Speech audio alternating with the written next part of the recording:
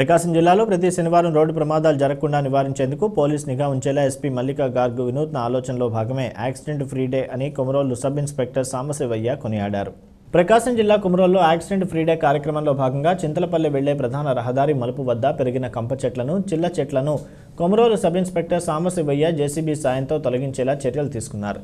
ప్రధాన రహదారి రాష్ట్ర రహదారి కావడంతో చింతలపల్లి వెళ్ళే రహదారి మలుపు వద్ద ఉండడంతో అటువైపు నుంచి ఇటువైపు నుంచి వచ్చే వాహనాలు కనిపించడం లేదని ఇక్కడ ప్రమాదాలు జరిగే అవకాశం ఉన్నందున సబ్ ఇన్స్పెక్టర్ సాంబశివయ్య పర్యవేక్షణలో వాటిని తొలగించారు. సందర్భంగా సాంబశివయ్య మాట్లాడుతూ నూతనంగా జిల్లాలో బాధ్యతలు చేపట్టిన ఎస్పీ మల్లికా గార్గ్ రోడ్డు ప్రమాదాలు నివారించే కార్యక్రమంలో భాగంగా ప్రతి శనివారం యాక్సిడెంట్ ఫ్రీ డేగా ప్రకటించిందని అందులో భాగంగా ప్రతి ఒక్క పోలీస్ స్టేషన్ పరిధిలో ఆ రోజు ప్రమాదాలు జరిగే ప్రాంతాలను గుర్తించి అక్కడ ప్రమాదాలు జరగకుండా చర్యలు చేపట్టాలని ఆదేశించారని ప్రతి శనివారం ఈ కార్యక్రమాలు నిర్వహిస్తున్న ఎస్పీ మల్లిక గారి వినూత్న ఆలోచన అభినందించదగ్గ విషయమని అన్నారు.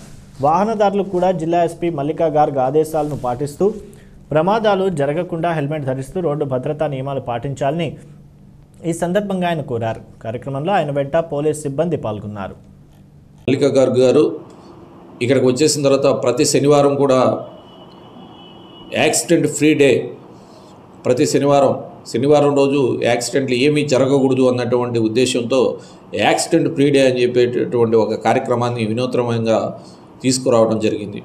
మేడం గారు ఇచ్చినటువంటి ఈ కార్యక్రమంలో ఎక్కడైతే యాక్సిడెంట్లు జరిగేదానికి ఎక్కువ అవకాశాలు ఉంటాయో ఆ ప్రదేశాల్లో పోలీస్ నిఘా ఉంచుతూ ఎవరైతే వాహనదారులు వారి యొక్క వాహనాలను అజాగ్రత్తగా నిర్లక్ష్యంగా నడిపి యాక్సిడెంట్ గురి చేసేదానికి అవకాశం ఉందో అటువంటి వైలేటర్స్ పైన చలానాలు విధి విధిస్తూ అదేవిధంగా ఎవరైతే తగిన జాగ్రత్తలతో మెలకువలతో ప్రయాణం చేస్తూ ఉంటారో తగిన జాగ్రత్తలు తీసుకుని హెల్మెట్ ఇవన్నీ పెట్టుకొని వాళ్ళందరినీ కూడా ప్రోత్సహిస్తూ వాళ్ళకి శుభాభినందనలు తెలియజేస్తూ అదేవిధంగా ఎక్కడైతే యాక్సిడెంట్లు జరిగేదానికి అవకాశం ఉంటుందో ఆ ప్రాంతాలలో ఏవైనా చర్యలు చేపట్టాలా? ఎందువల్ల జరుగుతూ ఉంది?